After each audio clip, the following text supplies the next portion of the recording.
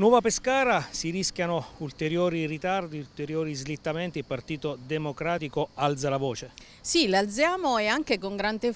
con grande forza visto anche l'impegno che c'è stato da parte del Presidente della Commissione Finanze e Tesoro del, del Senato che è riuscito ad ottenere un emendamento che porta un,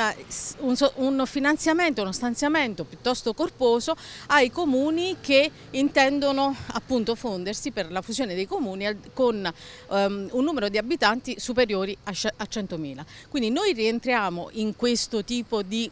eh, di emendamento sono 105 milioni di euro per avviare il processo di fusione attraverso l'unificazione dei servizi e creare quella struttura idonea soprattutto per monitorare, valutare, osservare e programmare delle azioni anche in linea con quanto previsto dal PNRR. Quindi noi chiediamo ancora una volta innanzitutto anche al sindaco Masci che ha partecipato grazie al coinvolgimento del senatore Luciano D'Alfonso del Partito Democratico attivamente a degli incontri, una sorta di anche programmazione proprio finalizzata a portare avanti il processo di diffusione, a farsi sentire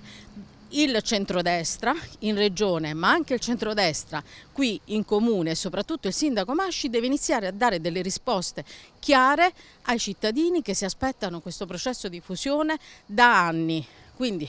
alzeremo la voce ancora di più. Noi vogliamo che si vada avanti, adesso ci sono i finanziamenti, si sta lavorando, si stanno creando dibattiti, si sta creando un movimento di idee, vogliamo che questo